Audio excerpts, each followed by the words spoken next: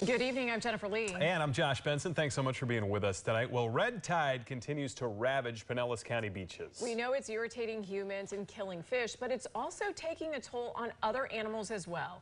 News Channel 8's Olivia Steen joins us live from the Seaside Seabird Sanctuary in Indian Shores. We've talked a lot about the fish. I mean, it only stands to reason that birds would have a problem too.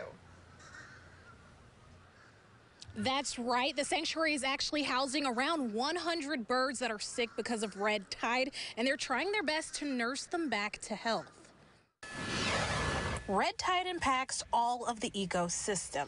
And we're having these blooms such in close proximity to each other. We're not giving those pop fish populations enough time to recover, and that is going to affect all of the wildlife that depend on that food source. Like seabirds, many are eating the contaminated dead fish, causing them to also get sick. But that's where Seaside Seabird Sanctuary swoops in to save the day. Concerned people either call our rescue line and we'll dispatch our rescue volunteers to get the injured birds, or people will directly bring them here to the hospital. Melissa Edwards is the avian hospital director. She says it's easy to spot an infected bird. And it can cause kind of paralysis almost, so they're not able to walk, not able to stand. Sometimes the early symptoms, you'll see them kind of face planting and just looking almost drunk, stumbling around, and then it can lead to them not being able to even swallow, blink their eyes. Edwards tells tells me they give the birds fluids paired with medications to flush out the toxins. It usually takes them seven days to get better.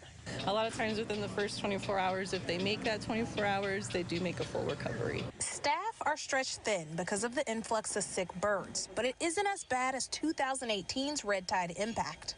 Um, we did get like 60 red knots all within one weekend due to red tide, so that was, you know, a lot of, of you know, stress in our hospital. We had one in November, we had gotten, I believe, it was 200 cormorants in not even a month.